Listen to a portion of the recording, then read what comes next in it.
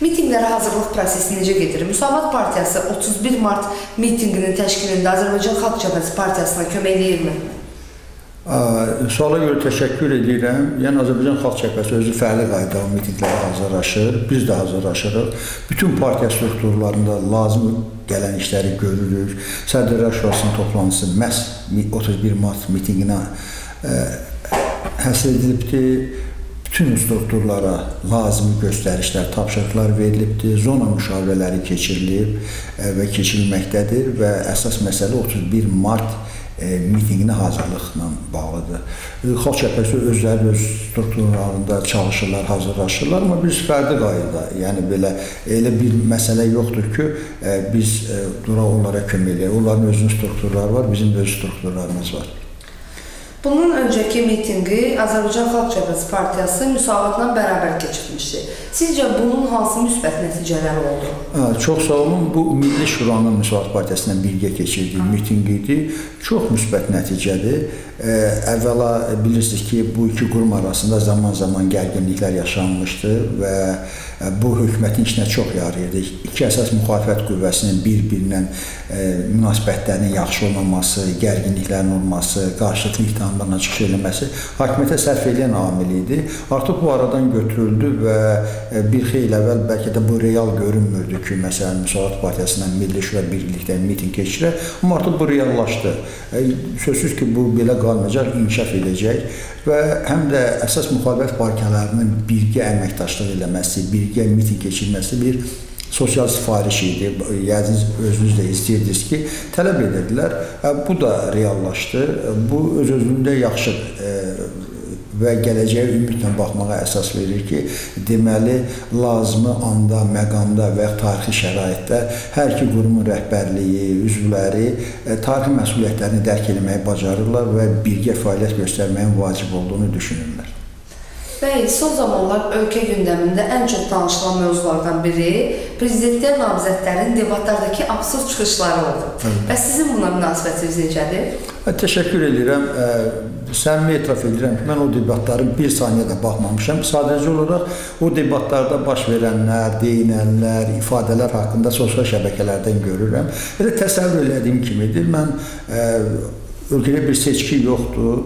O debatları debat saymıram. Yəni bir mübarizə mühiti yoxdur və o debatda iştirak edənlərdən heç kəsi bir nəfər də olsun prezident seçilmək yolunda yarışmır. İlham Əliyev arxayındır o trio İlham Əliyev Məzahir Pənahov və Əfruz xala triosu bu məsələni həll edəcək. Onlar ona əmindir, ona görə mübarizə aparmırlar. Sadəcə indi bir nümayəndə qoyublar ki, o yer boş qalmasın. Digərləri isə də ə, əksəriyyəti ancaq ə, hakimiyyətə yarınmaq, ə, hakimiyyətin maşası kimi müxalifətə qarşı çıxış eləmək və növbəti parlament seçkilərində mandatmı və ya hakimiyyətdən nəsə bir pay almaq, ənam almaq onda mübarizə aparırlar. Ə, Və yəni orada iştirak edənlərin heç kəsin deyirəm konkret belə bir ə, e, tapşırığı, vəzifəsi özü qarşısında yoxdur ki, bu seçkilərdə prezident olmaq istəsin. Yoxdur, onlar real görünmür. Sual ola bilər ki, məsələn, ötən seçkilərdə də ölkədə mühit belə idi, seçki komissiyaları e, yapın nəzarətində idi, ancaq müxalifətin vahid namizədi iştirak edirdi. Yəni elə adamlar elə gələ bilər ki, nə fərqi var? İndi də ə, siz qatılmamısınız, başqaları qatılıbdır. Amma fərqli olan odur ki, biz bilirik ki, ölkədə azad seçki mühiti yoxdur, sərbəst toplaşma azadlığı yoxdur. Amma biz düşünürük ki, bu əbədi olaraq belə davam edə bilməz. Biz seçkilərə qatılanda düşünürük ki, biz xalqı oyandırıb, ayağa qaldırıb və bu saxtalaşdırmanın qarşısını almağa nail ola bilərik. Bir şans kimi baxırıq. Yəni biz seçkilərə ona görə qatılmırıq ki, biz bilir e, etimad göstəririk yaxın seçki komissiyalarına, ölkədə seçki mühiti var və e, səslər ədalətli sayılacaq və biz qalib olunacaq. E, zərrə qədər belə deyil. Biz gedişatı dayandırmaq üçün qatılırıq və bir fikirləşirik ki, e, biz hakimiyyətin planlarını alt-üst edə bilərik. Amma indi qatılanlardan kimsə də olsun ki, hakimiyyətin adamı deyil və ona yarınmaq fikri yoxdur, onun tapşırığını yerinə yetirmir, amma həmin şəxsin də belə bir iddiası yoxdur ki, məsələn, xalqı hərəkətə gətirib bu saxta seçkilərin nəticələrini dəyişdirsin, ədaləti ortaya qoysun. Bax, fərq bundadır. Tofiq bəy, hal-hazırki prezidentliyə namizədlərin Azərbaycan xalqının maraqlarına xəyanət edən şəxslər kimi qəbul olunması fikri ilə razısınız? E, tam da ə, razı deyiləm bu fikirlə. Yəni bunlar seçkiyə qatılıbdılar və Azərbaycan xalqının maraqlarına xəyanət ediblər fikirlə razı deyiləm. Çünki oradakı əksəriyyəti Azərbaycan xalqına xəyanət ediblər. Bunlar bu oğru quldur hakimiyyətin yanındadılar. Onunla birgə həmahəng çalışırlar. Bu ölkənin talanmasında, hüquqlarının tapdalanmasında birgə rol oynayır. Onlara yardımçı olurlar. Yəni onlar bir bu işinə görə, əməlinə görə xalqa xəyanət eləməyiblər. O mənada xalqa xəyanət edən yapdı, onun rəhbəri, ölkə prezidenti səlahiyyətlərini qəsb edib və icra edən İlham Əliyevdir ki, Azərbaycan xalqının maraqlarının ziddinə fəaliyyət göstərir. Ola bilər ki, nəzəri cəhətdən elə bir şey ola bilər ki, insan layiq olmadığı postu necəsə ələ keçirsin, ancaq bunu bir yaxşıya kullanmaq olardı da. Amma təsəvvür edin, az imiş ki, ölkə rəhbəri seçilmədən o kreslonu zəbt eləyəsən və ə, prezidentin səlahiyyətlərini icra edəsən və bu səlahiyyətin bütün imkanlarının ə, bu xalqa qarşı fəaliyyət göstərəsən.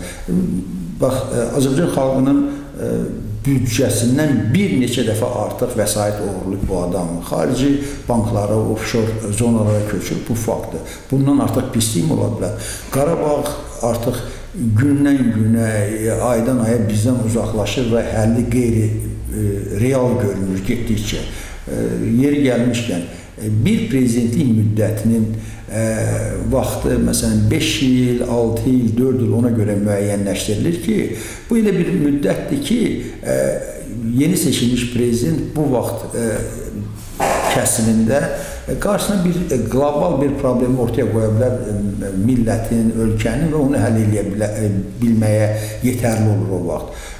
Bu əvvəl 5 il müəyyənləşmişdi bizdə və bizim də bir nömrəli problemimiz işğal olunmuş ərazilərdir. Və bu illər ərzində, yəni iki dəfə Heydər Əliyev bu prezidentlik vəzifəsini icra edib, üç dəfə də İlham Əliyev bir addım irəli getməmişik. Əksinə, e, günü-gündən mövqelərimiz zəifləyir. Nə mənada? Ermənistan Avropa Birliyinə inteqrasiya sürəcindədir, ora doğru addım atır. Biz isə bütün mütərəqqi dünyanı dışlayırıq və bu dışlamanın nəticəsində özümüz də dışlanırıq. Dünyada tərəfdarımız yoxdur konkret bizi müdafiə edən yoxdur. Bizim haqq səsimizi duyan, dəstəkləyən yoxdur. Amma müasir diplomatiya belədir ki, sən qəbul edilməlisən, dünya tərəfindən, mədəni dünya tərəfindən qiymətləndirilməlisən, legitim qəbul edilməlisən və sənə qulaq asılmalıdır. Azərbaycan bütün qara siyahlarda birinci yerdə gedir. Seçki saxtakarlığı, insan haqlarının tapdalanması, korrupsiya və digər məsələlərə görə. Ona görə ölkənin də təmsilçisi ölkənin prezidentidir. Ölkənin bir nömrəli təmsilçisi mənfi imicdə qəbul edilirsə də heç kəs gəlib ölkənin haqlı olduğu problemdə onu müdafiə etməyəcək. Birinci növbədə gərək ölkədə hüquqi, qanuni, legitim hakimiyyət formalaşsın, onun təmsilçisi dünya meydanına çıxsın və insanları inandırsın, e, daha doğrusu diplomatları, dövlət başlarına və bizim problemə yardımcı olmağı tələb eləsin. Amma elə bil e, bu tədbirlərdə, bu beynəlxalq görüşlərdə İlham Əliyev çıxdaş edilmiş bir adam kimidir. Və baxın, e, heç kəslə bir düzəməli görüşlər keçirə bilmir, nail ola bilmir və yaxud o günə qalıblar ki, məsələn, BMT-nin assambleyasında dəhlizdən keçəndə bir prezidentə, ölkənin prezidentinə bir salam verir, bir dəqiqəlik ayaqüstü söhbət edirlər. Bunu Azərbaycan televiziyaları dəhşətli bir görüşlər kimi təqdim edir. Çünki ona möhtaclar, qalıblar o gündə. Hə, və e, məntiqlə İlham Əliyev hər şeyi qoyaq kənara. Tutaq ki, o oğurladığı pullar qalsın o yana, saxta seçkilər o yana qalsın. İşğal olmuş ə, e, ərazilər problemini həll edə bilmirsə, o hansı üzrlə yenidən namizədini irəli verir? Nəyə görə verməlidir? Söz verə bilərmi ki, məsələn, mən növbəti 7 e, ildə e, Qarabağ problemi, işğal olmuş əraziləri azad edəcəm. Yeri gəlmişkən 2003-cü ildə İsa Qəmbər prezidentlə namizəd idi və həmin seçkilərdə triumfal qələbə qazanıb. O seçki platformasını elan edəndə dedi ki, mən bir prezidentlik müddətində işğal olmuş ərazilər məsələsini həll edəcəm.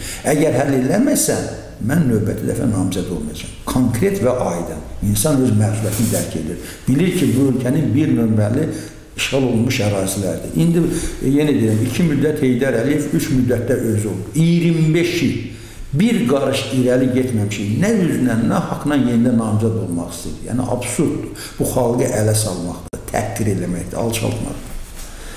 Bəy, bu yaxınlarda İlham Əliyev çıxışlarının birində deyib ki, Azərbaycan Xalq Cəbhəsi Partiyası və Müsavat cütlüyü hakimiyyətdə olanda ölkə dağılırdı və Heydər Əliyev gəlib Azərbaycanı xilas elədi. Bəs əslində həmin dövrdə vəziyyət necə idi? Doğrudanmı Azərbaycanı Heydər Əliyev xilas elədi, doğrudanmı ölkə dağılırdı və sabitlik yaradıldı?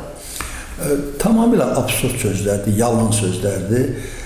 AXC Müsavat cütlüyünün hakimiyyəti müddəti cəmi bir il çəkibdir. Mən sizə deyim, yəni bu haqda dəfələrlə deyilib, bir halda ki, sual verirsiniz, deyil. Baxın, görün nə oldu. Həmin ildə milli ordu yaradıldı. Milli valyuta dövrəyə buraxıldı və milli valyuta Elçibəy hakimiyyətdə olana qədər ə, e, çox möhkəm dayandı, dəyərini itirmədi Ağdərə rayonunu işğaldan azad elədik, Şamyan kənd rayonunu işğaldan azad elədik, müəllimlərin maaşını 3 dəfə qaldırdıq, ölkədə lal cəvahirət fondu yaradıldı, ərzaq talonları verilmirdi, onları ödəməyə başladıq, pensiyalar ödənmirdi, onları ə, öd ödə ödənildi və ə, hökumətin təqaüdçilərə heç bir borcu qalmadı. Bundan artıq nə olur olmalı idi?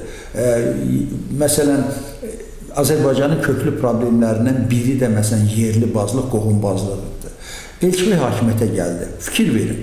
İki dənə dövlət rəhbəri tapmaq olmaz, ikisi bir rayondan olsun. Məsələn, Elçibəy özü Naxçıvandan idi, İsa Qəmbər Füzulidən idi, Pənas Hüseyn Sabirabaddan idi baş nazir.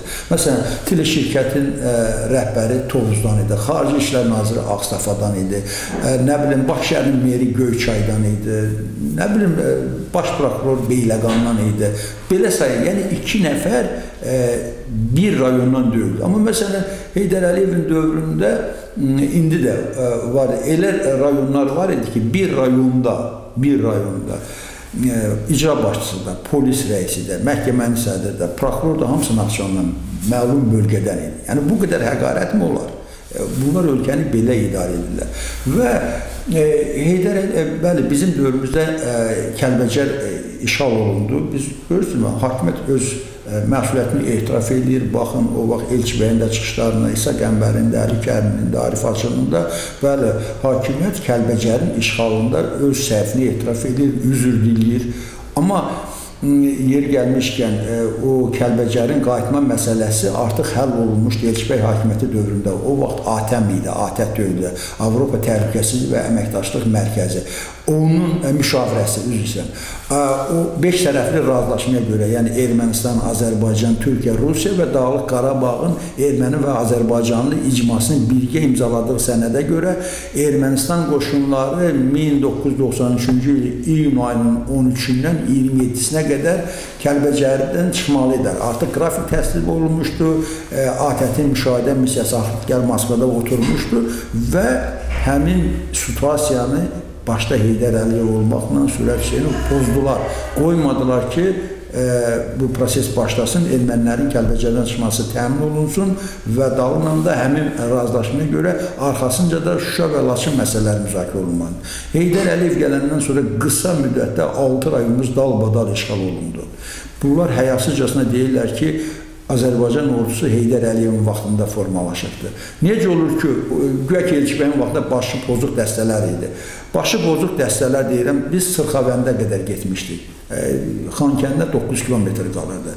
Hər gün insanlar, onda gün xəbərlər proqramı var idi məşhur diktor Şəmsən Əlzamanlı özünün çox gözəl səsindən şanlı ordumuz bu gün filan kənd azad elədi, filan bölgəni azad elədi.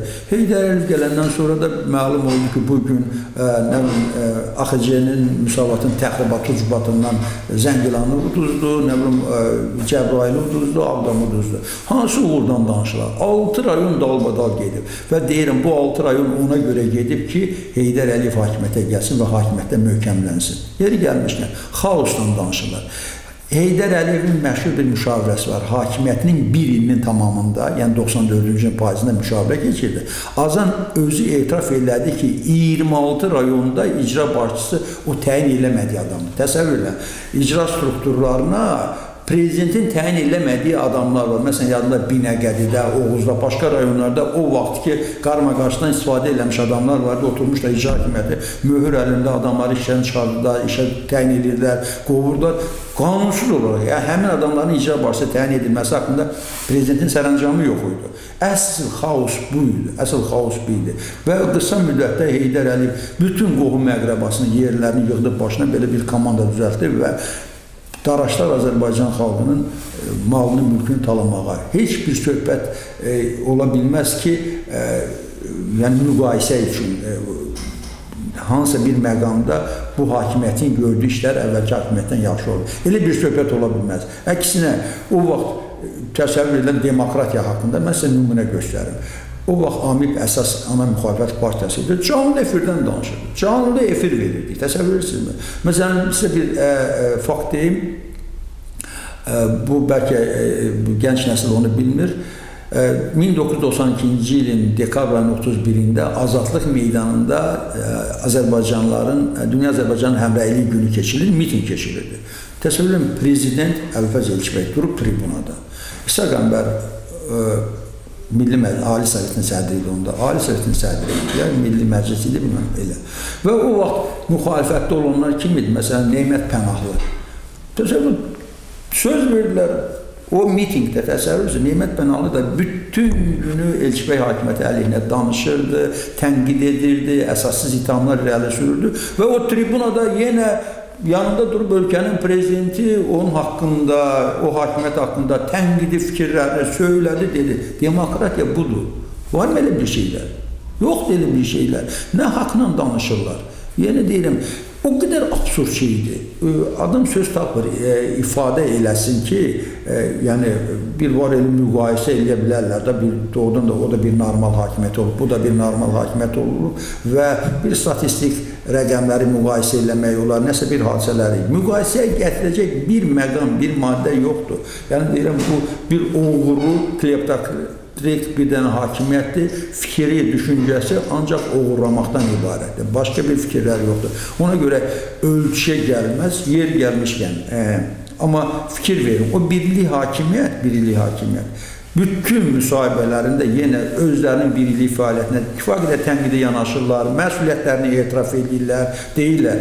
Amma bunlar nə deyirlər? Hər şey əla, hər şey gözəl, heç bir qüsurumuz, səhvimiz yoxdur. Yəni bunun sadə dilində həyasızlıqdan başqa bir adı yoxdur. Tofiq bəy, sizin bu dedikləriniz faktdır və bir illik hakimiyyət dövründə əldə edilən uğurlardan söhbət gedir. Müqayisə elədikdə 25 il ərzində nəinki hansısa bir rayon e, işğaldan azad olunmayıb, eyni zamanda atəşkəs dövründə olduğumuz halda e, hər gün şəhid xəbərləri alırıq və 25 il ərzində bir Lələtəpəni, bir Cocuq Mərcanlını işğaldan azad etdirməklə e, xalqa təsəlli verməyə çalışırlar sanki. Və xalq nəyə görə sizcə bu tarixi araşdırmır? Yeni nəsil nəyə görə bunu sorğulamır? Mən dəfələrlə deyirəm ə, bu sözü, bu fikri yenə deyəcəm və çəkinmirəm. Cəmiyyətimizin zəifliyi, passionar olmaması İlham Əliyevin uğurudur, pozitividir, müxalifətin negatividir. Onun gücü ondadır. Yəni, Əliyevlər hakimiyyəti çox güclü deyil, Azərbaycan cəmiyyəti çox zəifdir. Bir anla, bax, dediklərimi sübut edeyim. İlham Əliyev bu Azərbaycanda çıxartdığı hoqqaları Gürcüstanda və ya Ermənistanda edə bilərdimi? Edə bilməzdi. İlham Əliyev Ermənistanın prezidenti olsaydı, heç bir halda cəsarət edib öz xanımını birinci vitse-prezident təyin edə bilməzdi. Və yaxud bu qədər bunun ə, maxinasiyaları ortaya çıxır, faktlarla, elə sonuncu Landramat məsələsini götürək. Məsələn, Sarkisyanın elə bir məsələsini çıxıb ortaya və erməni xalqına bağışlamazdı.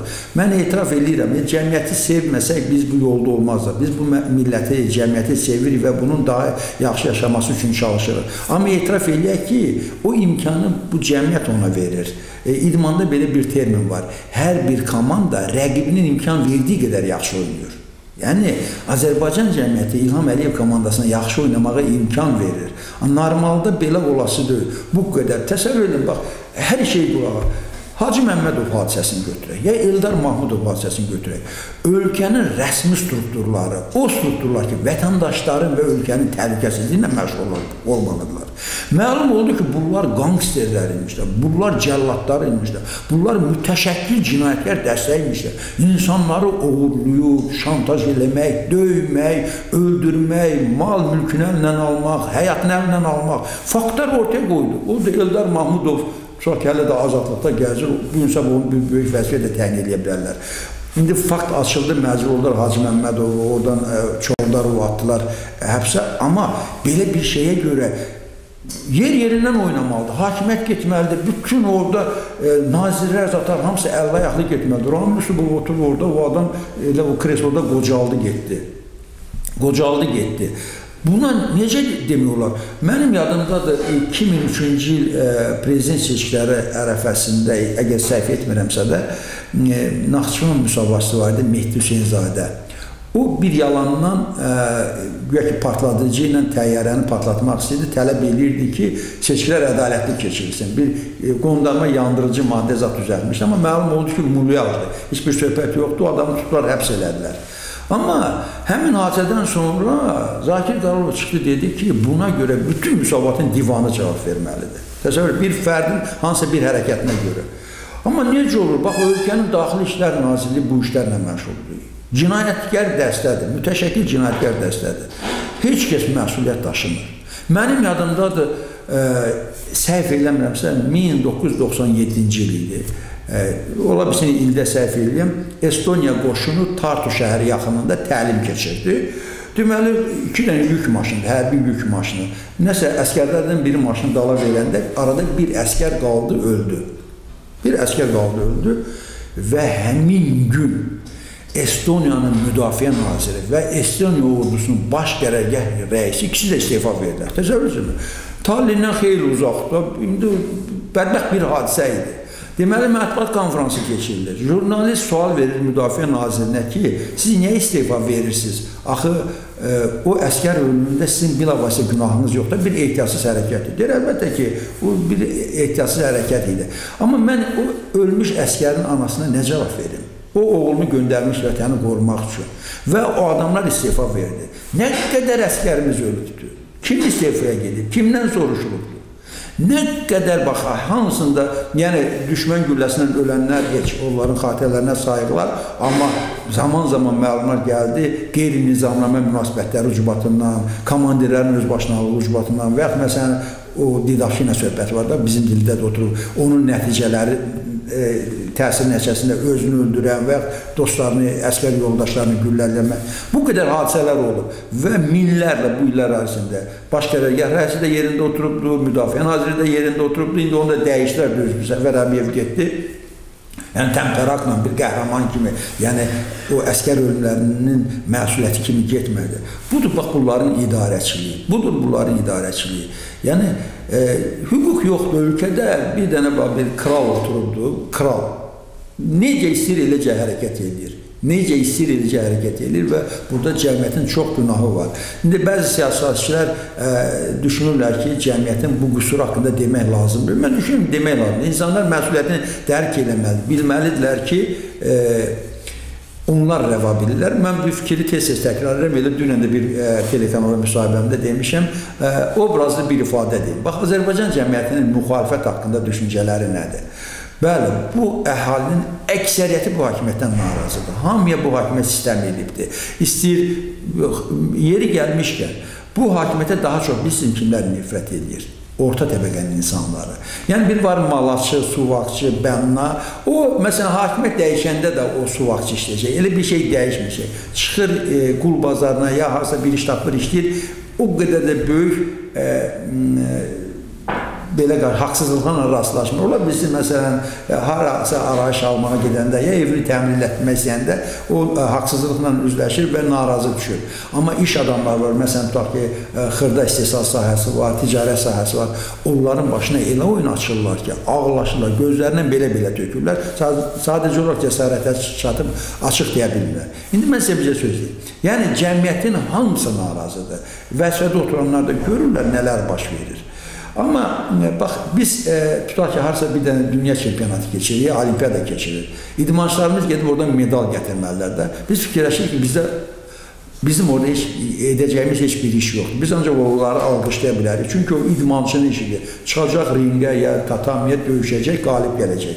Eləmi? Yəni bizlik bir şey yoxdur. Və təəssüf ki, Azərbaycan cəmiyyətinin xeyli hissəsi də fikirləşir ki, ölkədə demokratik dəyişikliklərə nail olmaq müxalifətin işidir. Bu müxalifətçilər nəsə bir xüsusi adamlardır, nə də idmançılar kimi. Bunları ya anaları belə doğub, ya onlara bir, bir tapşırıq var, ya bu vəzifə təyin ediblər. Bunlar düzüb qoşmalıdırlar, hərəkətə gətirməlidirlər, e, öz imkanları hesabına ə, e, hərəkət yaratmalıdırlar, hakimiyyəti dəyişib demokratik cəmiyyət qurmalıdırlar. Və bu insanlar da onlara sağ ol deyib yaxşı həyatlarını yaşamalıdır. İnsanlar başa düşməlidir ki, müxalifətin işi bütün dünyada baxın nədir? Bir də şüarı elan eləmək. Görün biz mitinqin təşkil olunması üçün dəridən qabıqdan çıxırıq. Amma normal ölkələrdə belə bir şey yoxdur. Məsələn, Ermənistan müxalifəti, Gürcüstan müxalifəti miting keçəndə belə aşağı-yuxarı bir də mitinqin vaxtını elan edir, bir də məsələn tələbləri səsləndirir. Və cəmiyyət görür, haqlı bulursa gəlir. Amma biz nə qədər müraciətlər, xahişlər, nə orada event yaradırıq, qapı-qapı döyürük, ondan xahiş edirik, qonu-qonşudan xahiş edirik. Çünki cəmiyyət həssasdır bu məsələdə. E, yenə deyirəm, e, bu məsələni e, yekunlaşdıraq, e, onu demək istəyirəm ki, cəmiyyət də öz məsuliyyətini dərk etməlidir. Bəy, bəs sonda uzun illər mübarizəyə sərf eləmiş bir insan kimi gənclərə nəyi tövsiyə edərdiniz? Gənclər özlərini vətəndaş kimi hiss eləsinlər. Ləyaqətlərini qorusunlar, şərəflərini qorusunlar. Heç kim düşünməsin ki, bu fəallıq, mitinqə getmək, nə bilim, e, ölkədə hüquqi dövlətin qurulmasını tələb eləmək bu İsa Qəmbər üçündür, Cəmil Həsənli üçündür, Əli Kərim üçündür, Arif Hacı üçündür. Hamımız üçündür, bizim üçündür. Hamı bilməlidir ki, bu gənclər, bax indi bu müxalifət liderləri var. Siz özünüz də bax rahatca kənardan baxa bilərsiniz. Bu insanların yaxşı yaşamaq problemi olsa, bunu çox rahatca həll edə bilərlər. Çox rahatca həll edə bilərlər. Çəkilə bilərlər, imkanlar da var, bacarıqlar da var. Və həyatdan risk atıblar. Hər gün təhqir, repressiya, təhdid, amma bu yolu gedirlər. Bircə amal var, bircə amac var ki, bu xalq azadlığa çıxsın. Gənclər də bunu dərk eləməlidirlər. Qutarmaq lazımdır. Sözsüz ki, gənclər futbol oynamalılar, musiqiyə qulaq asmalılar, sevgilisi ilə vaxt keçirməlidir. Bunlar ə, e, olmalıdır. Amma vətən üçün də bir onların gündəmində yer qalmalıdır, qrafikində. Vətəni unutmaq olmaz. Yəni gənclər düşünməməlidir, xüsusən ki, oğlan uşaqlar ki, bir dənə əskəriyə getdilər, gəldilər, bununla da vətən qarşısında borclarını ödədilər. Yox, o belə deyirəm, məcburi bir aktdır. Bir də sənin içindən gələn bir şey olmalıdır ki, bu vətən niyə bu gündə olmalıdır? Niyə bu ölkədə biz azad yaşamamalıyıq? Söhbət odur. Və ona görə gənclər dərk eləməlidir, fikirləşməlidir bu. Çox sağ olun bəy, dəyərli müsahibə üçün. Təşəkkür edirəm, minnətdarım. Sağ olun.